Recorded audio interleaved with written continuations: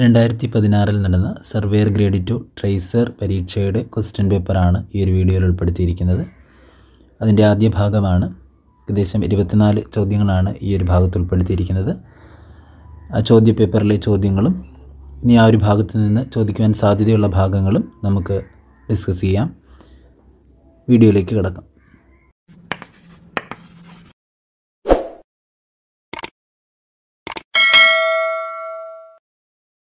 ഒന്നാമത്തെ ചോദ്യം. The art of determining and representing relative heights or elevation of different points on the surface of earth relative height അല്ലെങ്കിൽ elevation of different points represent ചെയ്യുന്ന art of surveying ഏതാണെന്നാണ് ചോദിച്ചിരിക്കുന്നത്. അല്ലെങ്കിൽ ഏത് ആർട്ടാണെന്നാണ് ചോദിച്ചിരിക്കുന്നത്.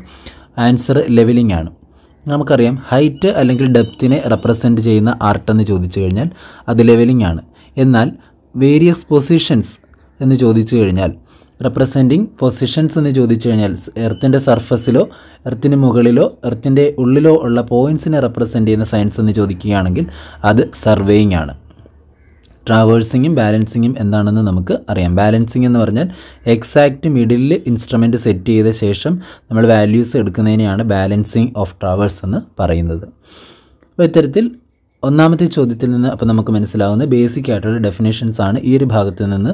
നമ്മൾ ലെവലിങ്ങിനോടൊപ്പം തന്നെ ലെവലിങ്ങിന്റെ ഡെഫിനേഷൻ പഠിക്കുന്നതിനോടൊപ്പം തന്നെ സർവേയിങ്ങിന്റെ ഡെഫിനേഷനും ഡിഫറെന്റ് ടൈപ്സ് ഓഫ് സർവേയും പഠിക്കേണ്ടതായിട്ടുണ്ട്. അപ്പോൾ ആ ഒരു ഭാഗത്തു നിന്ന് ചോദ്യങ്ങൾ നമുക്ക് പ്രതീക്ഷിക്കാം. രണ്ടാമത്തെ ചോദ്യം which scale is used to read three dimensions മൂന്ന് ഡയമെൻഷൻസും റീഡ് ചെയ്യാൻ പറ്റുന്ന സ്കെയിൽ ഏതാണെന്നാണ് ചോദിക്കുന്നത്? ഡയഗണൽ സ്കെയിലാണ് ഡയഗണൽ സ്കെയിൽ മൂന്ന് ഡയമെൻഷൻസും റീഡ് ചെയ്യാൻ പറ്റുന്ന സ്കെയിലാണ് ഡയഗണൽ സ്കെയിൽ പ്ലെയിൻ സ്കെയിലിൽ രണ്ട് യൂണിറ്റുകളെയാണ് റെപ്രസെന്റ് ചെയ്യുന്നത്. രണ്ട് യൂണിറ്റ് റെപ്രസെന്റ് ചെയ്യുന്ന സ്കെയിലാണ് പ്ലെയിൻ സ്കെയിൽ മൂന്ന് യൂണിറ്റുകൾ റെപ്രസെന്റ് ചെയ്യുന്ന സ്കെയിലാണ് ഡയഗണൽ സ്കെയിൽ മൂന്ന് യൂണിറ്റ് റെപ്രസെന്റ് ചെയ്യുന്ന സ്കെയിലാണ് diagonal scale full സ്കെയിലിന്റെ ratio one is to one ആണ് ഫുൾ സ്കെയിലിന്റെ റേഷ്യോ ഫുൾ സ്കെയിൽ കൂടാതെ റെഡ്യൂസ്ഡ് സ്കെയിലും എൻലാർജ്ഡ് സ്കെയിലും ഉണ്ട്. നമ്മൾ സാധാരണയായി ബിൽഡിംഗ് ഡ്രോയിങ്സ് ഒക്കെ വരയ്ക്കുന്നത് വൺ ഈസ് ടു തേർട്ടി അല്ലെങ്കിൽ one is to fifty one is to hundred ഇങ്ങനെയുള്ള സ്കെയിലുകളെല്ലാം തന്നെ റെഡ്യൂസ്ഡ് സ്കെയിലാണ് ബിൽഡിംഗ് ഡ്രോയിങ് നമ്മളെപ്പോഴും റെഡ്യൂസ്ഡ് സ്കെയിലാണ് ചെയ്യുന്നത്. എന്നാൽ സ്മോൾ മെഷീൻ പാർട്സ് ഒക്കെ നമ്മൾ എൻലാർജ്ഡ് സ്കെയിലിൽ ചെയ്യാറുണ്ട്. എൻലാർജ്ഡ് സ്കെയിൽ വരുമ്പോഴത്തേക്കും അതിന്റെ റേഷ്യോ തിരിച്ചു വരും. ഹയർ വാല്യൂ ആയിരിക്കും ആദ്യം വരുന്നത്. ഫിഫ്റ്റി ഈസ് ടു വൺ എന്നൊക്കെ വരുന്നത് എന്തായിരിക്കും? ഒരു എൻലാർജ്ഡ് സ്കെയിൽ ആയിരിക്കും. Next question the main principle of surveying is to work from സർവേയുടെ പ്രിൻസിപ്പിൾ ഏതാണെന്നാണ് ചോദിച്ചിരിക്കുന്നത്? ഇത് ഒരുപാട് പരീക്ഷകളിൽ ആവർത്തിച്ച് ചോദിച്ചിട്ടുള്ള ചോദ്യമാണ്. സർവേയുടെ മെയിൻ ആയിട്ടുള്ള പ്രിൻസിപ്പിളാണ് work from whole to part എന്ന് പറയുന്നത്. സർവേയുടെ പ്രിൻസിപ്പിൾ വളരെ ഇമ്പോർട്ടന്റ് ആണ്. The longest chain line in survey line is chain line ഏറ്റവും വലിയ ചെയിൻ ലൈൻ ഏതാണെന്നാണ് ചോദിച്ചിരിക്കുന്നത്? Longest and important chain line ആണ് ബേസ് ലൈൻ ലോങ്ങസ്റ്റ് ചെയിൻ ലൈനുമാണ് ഇമ്പോർട്ടന്റ് ആയിട്ടുള്ളൊരു ചെയിനുമാണ് ചെയിൻ ലൈനുമാണ് ബേസ് ലൈൻ അതുപോലെ തന്നെ ഒരു വർക്കിന്റെ ആക്യുറസി തീരുമാനിക്കുന്നത് ബേസ് ലൈൻ ആയിരിക്കും. ഒരു വർക്കിന്റെ ഒരു ചെയിനിങ്ങിന്റെ ആക്യുറസി തീരുമാനിക്കുന്നത് ബേസ് ലൈൻ ആയിരിക്കും. ബേസ് ലൈൻ അത്രത്തോളം പ്രാധാന്യമുണ്ട്. നെക്സ്റ്റ് ചെക്ക് ലൈൻ എന്ന് പറഞ്ഞാൽ നമ്മളൊരു ആക്യുറസി ചെക്ക് ചെയ്യുന്നതിന് വേണ്ടിയിട്ട് നോക്കുന്ന ലൈനാണ് ചെക്ക് ലൈൻ. അതേപോലെ ഒരു ട്രയാങ്കിളിന്റെ എപ്പെക്സിലേക്ക് നമ്മൾ വരയ്ക്കുന്ന അല്ലെങ്കിൽ എപ്പെക്സിലേക്ക് കണക്ട് ചെയ്തുകൊണ്ട് നമ്മൾ ചെയ്യുന്ന ലൈനാണ് ടൈ ലൈൻ എന്നുകൊണ്ടും ഓർത്തിരിക്കുക. അഞ്ചാമത്തെ ചോദ്യം. Dash type is used for the working of highest precision work of highest precision ഏറ്റവും ആക്യുറസി കൂടുതൽ കിട്ടുന്ന രീതിയിൽ ചെയ്യേണ്ട വർക്കുകൾക്ക് ഏത് ടൈപ്പാണ് ഉപയോഗിക്കുന്നത്? പല ടൈപ്പ് ടൈപ്പുകളുണ്ട് എന്നാൽ ഇൻവാർ ടൈപ്പാണ് നമ്മൾ മോസ്റ്റ് ആക്യുറേറ്റ് ആയിട്ടുള്ള ടൈപ്പ് ആക്യുറേറ്റ് വർക്കുകൾക്ക് നമ്മൾ ഉപയോഗിക്കുന്നത് ഇൻവാർ ടൈപ്പ് ആണ്. ഇനി മെറ്റാലിക് ടേപ്പ് എന്നത് ഒന്ന് ഓർത്ത് വയ്ക്കുക മെറ്റാലിക് ടേപ്പ് എന്നാൽ മെറ്റൽ കൊണ്ട് ഉണ്ടാക്കിയിരിക്കുന്ന ടേപ്പ് അല്ല. ക്ലോത്തിൽ മെറ്റാലിക് വയേഴ്സ് കൊടുത്തിട്ട് ചെയ്തിരിക്കുന്ന ടേപ്പാണ് മെറ്റാലിക് ടേപ്പ് എന്നുകൂടെ ഓർത്ത് വയ്ക്കുക ഇൻവാർ ടേപ്പാണ് ആക്യുറേറ്റ് വർക്കിന് നമ്മൾ ഉപയോഗിക്കുന്നത്. In surveyor's compass zero degrees marked at surveyor's കോമ്പസിൽ zero mark ചെയ്തിരിക്കുന്നത് എവിടെയാണെന്നാണ് ചോദിച്ചിരിക്കുന്നത്. സർവേയേഴ്സ് കോമ്പസ് എന്ന് പറയുമ്പോൾ അതിൽ ഡബ്ല്യു സി ബി സിസ്റ്റമാണ് ഉള്ളത്. സർവേയേഴ്സ് കോമ്പസിൽ ഡബ്ല്യു സി ബി സിസ്റ്റമാണ് ഉള്ളത്. Surveyor's compass zero degrees mark at എന്നാണ് ചോദിച്ചിരിക്കുന്നത്. സർവേഴ്സ് കോമ്പസിൽ സീറോ ഡിഗ്രി എവിടെയാണ് മാർക്ക് ചെയ്തിരിക്കുന്നത്? സർവേഴ്സ് കോമ്പസ് എന്ന് പറയുമ്പോൾ തന്നെ അതിൽ ക്വാഡ്രന്റൽ ബിയറിംഗ് സിസ്റ്റം അല്ലെങ്കിൽ റെഡ്യൂസ്ഡ് ബിയറിംഗ് സിസ്റ്റമാണ് ഉപയോഗപ്പെടുത്തിയിരിക്കുന്നത്. റെഡ്യൂസ്ഡ് ബിയറിംഗ് സിസ്റ്റത്തിൽ നമുക്കറിയാം നോർത്തിലും സൗത്തിലുമാണ് സീറോ വരേണ്ടത്. ആൻസർ വരുന്നത് നോർത്ത് ആൻഡ് സൗത്ത് എന്നാൽ പ്രിസ്മാറ്റിക് കോമ്പസ് നമുക്കറിയാം. അവിടെ ഡബ്ല്യു സി ബി സിസ്റ്റമാണ് പ്രിസ്മാറ്റിക് കോമ്പസിൽ വരുന്നത്.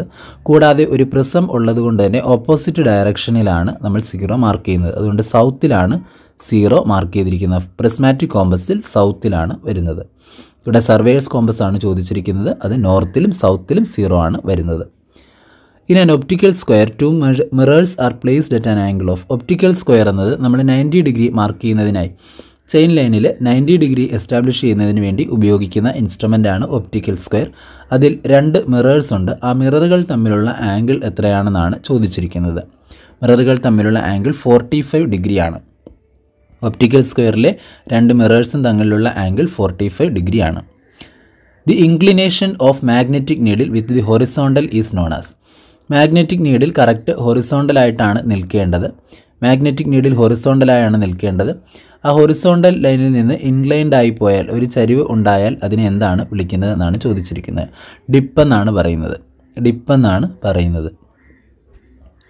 Next direct range is possible only when end points are direct ranging ranging നമ്മൾ പഠിച്ചതാണ്. റേഞ്ചിങ്ങിൽ ഡയറക്റ്റ് റേഞ്ചിങ്ങും ഉണ്ട് ഇൻഡയറക്റ്റ് റേഞ്ചിങ്ങും ഉണ്ട്. ഡയറക്റ്റ് റേഞ്ചിങ് എന്ന് പറഞ്ഞാൽ ഡയറക്റ്റ് റേഞ്ചിങ് എന്ന് പറഞ്ഞാൽ രണ്ട് പോയിന്റ്സ് മ്യൂച്വലി ഇന്റർവിസിബിൾ ആയിരിക്കണം. പരസ്പരം കാണാൻ കഴിയുന്ന തരത്തിലാണ് രണ്ട് പോയിന്റുകളെങ്കിൽ അവിടെ നമുക്ക് ഡയറക്റ്റ് റേഞ്ചിങ് ഉപയോഗിക്കാവുന്നതാണ്. The movable parts that are cleaned and lubricated comes under the category of അതായത് ഒരു ഇൻസ്ട്രുമെന്റിനെ മൂവ് ചെയ്യാൻ പറ്റുന്ന പാർട്സ് നമ്മൾ ക്ലീൻ ചെയ്യുന്നു അതുപോലെ തന്നെ ലൂബ്രിക്കേഷൻ ചെയ്യുന്നു.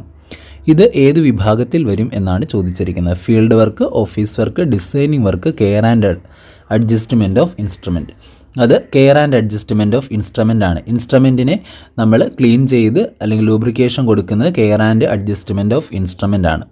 ഫീൽഡ് വർക്കിൽ ഒബ്സർവേഷൻസ് എടുക്കുന്നതും അത് റെക്കോർഡ് ചെയ്യുന്നതുമാണ് ഫീൽഡ് വർക്കിൽ വരുന്നത്. ഓഫീസ് വർക്കിൽ കാൽക്കുലേഷൻസ് ഡ്രോയിങ്സ് കാര്യങ്ങളാണ് ഓഫീസ് വർക്കിൽ വരുന്നത്.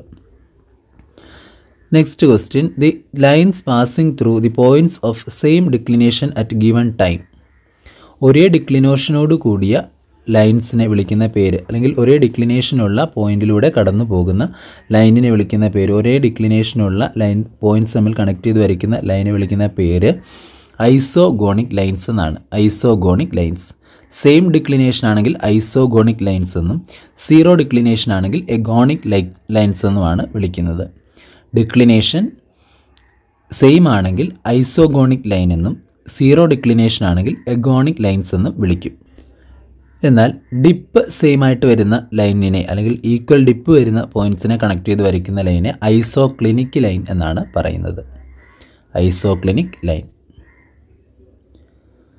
horizontal angle which the magnetic meridian makes with the true or geographic meridian is called true meridian true മെറിഡിയനും മാഗ്നറ്റിക് മെറിഡിയനും തമ്മിലുള്ള ആംഗിളിനെ ഹൊറിസോണ്ടൽ ആംഗിളിനെ വിളിക്കുന്ന പേര് എന്താണെന്നാണ് ചോദിച്ചിരിക്കുന്നത്? അത് ഡിക്ലിനേഷൻ ആണ്. ഡിക്ലിനേഷൻ ആണ് മാഗ്നറ്റിക് ഡിക്ലിനേഷനാണ് അതിന് ഉത്തരമായി വരുന്നത്.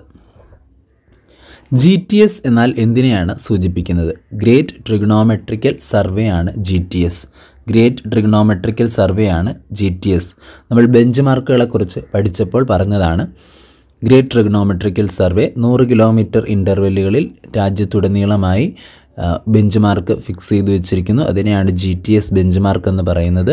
നമ്മളുടെ ഡാറ്റം എടുത്തിരിക്കുന്ന mean sea level of Mumbai ആണ് എന്നൊക്കെ നമ്മൾ പറഞ്ഞതാണ്. Next in a series of contour lines if the higher values are inside the bend or loop it represents a അതായത് ഹയർ വാല്യൂസ് ഇൻസൈഡ് വരുന്ന രീതിയിൽ വലിയ വാല്യൂസ് ഇൻസൈഡ് വരുന്ന രീതിയിലുള്ള ബെൻഡ് അല്ലെങ്കിൽ ക്ലോസ്ഡ് ലൂപ്പ് ഇതൊക്കെ എന്തിനെയാണ് സൂചിപ്പിക്കുന്നത്? അകത്തേക്ക് വലിയ വാല്യൂസ് വരുന്നത് നൂറ് തൊണ്ണൂറ് അങ്ങനെ അകത്തേക്ക് ഹയർ വാല്യൂസ് വരുവാണെങ്കിൽ അതൊരു റിഡ്ജിനെയാണ് സൂചിപ്പിക്കുന്നത്. റിഡ്ജ് അല്ലെങ്കിൽ ക്ലോസ്ഡ് ആണെങ്കിൽ ഹില്ലിനെയാണ് സൂചിപ്പിക്കുന്നത്. ക്യാരക്ടറിസ്റ്റിക്സ് ഓഫ് കോണ്ടൂറൊക്കെ നമ്മൾ ക്ലാസ് ചെയ്തിട്ടുള്ളതാണ്. അതിൽ നോക്കാവുന്നതാണ്. Long offset is to be measured more than long offset എങ്ങനെയാണ് വരുന്നത് എന്നാണ് ചോദിച്ചിരിക്കുന്നത്. ഓഫ്സെറ്റുകൾ തമ്മിലുള്ള ഡിഫറൻസ് അല്ലെങ്കിൽ ലോങ് ഓഫ്സെറ്റും ഷോർട്ട് ഓഫ്സെറ്റും നമ്മൾ പറയുന്നത് പതിനഞ്ച് മീറ്ററിൽ കുറവാണെങ്കിൽ അത് ഷോർട്ട് ഓഫ്സെറ്റും പതിനഞ്ച് മീറ്ററിൽ കൂടുതലാണെങ്കിൽ ലോങ് ഓഫ്സെറ്റ് ആണെന്നും ആണ്. പതിനഞ്ച് മീറ്ററാണ് ആൻസർ വരുന്നത്. Obstacle for both vision and chaining is occurred വിഷനിനും ചെയിനിങ്ങിനും ഒരേപോലെ ഒബ്സ്റ്റക്കിളായി വരുന്നത് എന്താണെന്നാണ് ചോദിച്ചിരിക്കുന്നത് ബിൽഡിംഗ് ആണ്. ബിൽഡിംഗ് ആണ്. വിഷനും ചെയിനിങ്ങിനും ഒബ്സ്റ്റക്കിളായിട്ട് വരുന്നത്. ഇനി ഓരോ ഓപ്ഷനും നോക്കിയാൽ റിവറും പോണ്ടും റിവറിനും പോണ്ടിനും നമുക്ക് വിഷന് തടസ്സമൊന്നും ഉണ്ടാകുന്നില്ല. ചെയിനിങ്ങിന് മാത്രമാണ് തടസ്സം ഉണ്ടാവുന്നത്. A series of connected survey lines of known length and direction are called series of survey lines എന്നാൽ നമുക്ക് അവയുടെ ഡയറക്ഷനും അറിയാം ലെങ്തും അറിയാം. അവയെ നമ്മൾ വിളിക്കുന്ന പേര് ട്രാവേഴ്സ് സർവേയിങ് എന്നാണ്. ട്രാവേഴ്സ് സർവേയിങ് പ്ലെയിൻ സർവേയിങ് എന്താണെന്നും ജിയോഡറ്റിക് സർവേയിങ് എന്താണെന്നും നമ്മൾ കണ്ടതാണ്. പ്ലെയിൻ സർവേ എന്നാൽ എർത്തിനെ ഒരു പ്ലെയിൻ സർഫസ് ആയി കൺസിഡർ ചെയ്തുകൊണ്ട് ചെയ്യുന്ന സർവേയാണ് പ്ലെയിൻ സർവേയിങ് എർത്തിന്റെ കർവേച്ചർ കൂടെ കൺസിഡർ ചെയ്തുകൊണ്ട് ചെയ്യുന്ന സർവേയാണ് geodetic surveying when two lines meet at a point sum of both interior and exterior angles is equal to രണ്ട് ലൈൻസ് വന്ന് മീറ്റ് ചെയ്യുമ്പോൾ ഉണ്ടാകുന്ന രണ്ട് ലൈൻസ് വന്ന് മീറ്റ് ചെയ്യുന്നു. അത് മീറ്റ് ചെയ്യുമ്പോഴുണ്ടാകുന്ന ഇന്റീരിയർ ആംഗിളിന്റെയും എക്സ്റ്റീരിയർ ആംഗിളിന്റെയും ടോട്ടൽ എത്രയാണെന്നാണ് ചോദിച്ചിരിക്കുന്നത്. അത് ത്രീ സിക്സ്റ്റി ഡിഗ്രിയാണ്. Three sixty degree. Brass handle is connected to link by. ചെയിനിലെ brass handle ലിങ്കിലേക്ക് കണക്ട് ചെയ്തിരിക്കുന്ന ജോയിന്റ് ഏതാണെന്നാണ് ചോദിച്ചിരിക്കുന്നത്. സ്വിവൽ ജോയിന്റ് ആണ്. Swivel joint the variation of magnetic declination occurred due to magnetic storms and earthquakes magnetic storm അല്ലെങ്കിൽ earthquake എന്ന് പറയുന്നത് മൂലം ഉണ്ടാകുന്ന വേരിയേഷൻ ഏതാണെന്നാണ് ചോദിച്ചിരിക്കുന്നത്. അത് ഇറഗുലർ വേരിയേഷനാണ് ഒരു വർഷം കൊണ്ടുണ്ടാകുന്ന വേരിയേഷനാണ് ആനുവൽ വേരിയേഷൻ. ഒരു പെൻഡുലം ഓസിലേറ്റ് ചെയ്യുന്നത് പോലെ ഉണ്ടാകുന്ന വേരിയേഷനാണ് സെക്കുലർ വേരിയേഷൻ. ഒരു ഡേയിൽ ഉണ്ടാകുന്ന അല്ലെങ്കിൽ ട്വന്റി ഫോർ അവേഴ്സിൽ ഉണ്ടാകുന്ന വേരിയേഷനാണ് ഡയൂണൽ വേരിയേഷൻ. ഇതിനെ സംബന്ധിക്കുന്ന ക്ലാസ്സുകളും വിശദമായി നമ്മൾ ഡിസ്കസ് ചെയ്തിട്ടുള്ളതാണ്. Plane table is centred over a station with the help of plane table centre ചെയ്യാൻ ഉപയോഗിക്കുന്നത് നമുക്ക് എല്ലാവർക്കും അറിയാം. പ്ലംബോബ് ഉപയോഗിച്ചാണ് പ്ലെയിൻ ടേബിളിൽ സെന്റർ ചെയ്യുന്നത്. സ്പിരിറ്റ് ലെവൽ ലെവലാണോന്നറിയാനും അലിഡേഡ് ലൈൻ ഓഫ് സൈറ്റിന് വേണ്ടിയിട്ടും ട്രഫ് കോമ്പസ് ലെവലാണോന്നറിയാൻ വേണ്ടിയിട്ട് സോറി നോർത്ത് മാർക്ക് ചെയ്യാൻ വേണ്ടിയിട്ടുമാണ് നമ്മൾ ഉപയോഗിക്കുന്നത്. Next which method is used for locating inaccessible objects inaccessible object അല്ലെങ്കിൽ ഇനാക്സസിബിൾ പോയിന്റ്സ് എന്ന് പറഞ്ഞാൽ അത് ഇന്റർസെക്ഷൻ ആയിരിക്കും. Intersection Bessel's solution of three point problem is also known as Bessel സൊല്യൂഷനെ വിളിക്കുന്ന മറ്റൊരു പേര് geographical method sorry graphical method Bessel solution എന്ന് പറഞ്ഞാൽ ഗ്രാഫിക്കൽ മെത്തേഡ് ആണെന്ന് ഓർത്ത് വയ്ക്കുക ഇത് നിമിയുടെ ടെക്സ്റ്റിൽ നമ്മൾ ബെസ്സൽ സൊല്യൂഷൻ പറഞ്ഞതാണ്. നിമിയുടെ മെത്തേഡിൽ ക്വസ്റ്റ്യൻ ബാങ്കിൽ നമ്മൾ ഡിസ്കസ് ചെയ്തതാണ്. അപ്പോൾ ഇത്രയും ക്വസ്റ്റ്യൻസ് ആണ് ആദ്യത്തെ ഇരുപത്തിനാല് ചോദ്യങ്ങൾ. താരതമ്യേന എളുപ്പമായിട്ടുള്ള ഒരു പരീക്ഷയായിരുന്നു. നമ്മൾ സിലബസ് ഓറിയന്റഡ് ആയിട്ട് പഠിക്കുകയാണെങ്കിൽ നമുക്ക് എളുപ്പമുള്ള ഒരു ആവറേജ് ലെവലിലുള്ള ചോദ്യങ്ങളായിരുന്നു കഴിഞ്ഞ പരീക്ഷയ്ക്ക് ചോദിച്ചിരുന്നത്. ഈ ക്വസ്റ്റ്യൻ പേപ്പർ നോക്കി അതിനോടൊപ്പം അതിനോട് ചേർന്ന് വരുന്ന ഭാഗങ്ങളോട് കൂടെ നോക്കുകയാണെങ്കിൽ നമുക്ക് വരുന്ന പരീക്ഷയ്ക്കും നല്ല രീതിയിൽ മാർക്ക് സ്കോർ ചെയ്യാനായിട്ട് കഴിയും. അടുത്ത ഭാഗത്തിൽ ബാക്കിയുള്ള ചോദ്യങ്ങൾ ഉൾപ്പെടുത്തുന്നതായിരിക്കും. താങ്ക്